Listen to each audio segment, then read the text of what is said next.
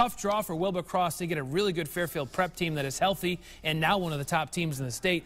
Patrick Harding down low gets the putback, and the Jesuits, they were in control all night long. Lots of smiles for head coach Leo Redgate tonight.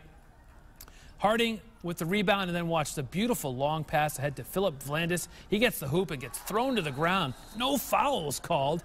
He was okay. Prep rolls 70 to 48. Jesuits will play Trumbull next.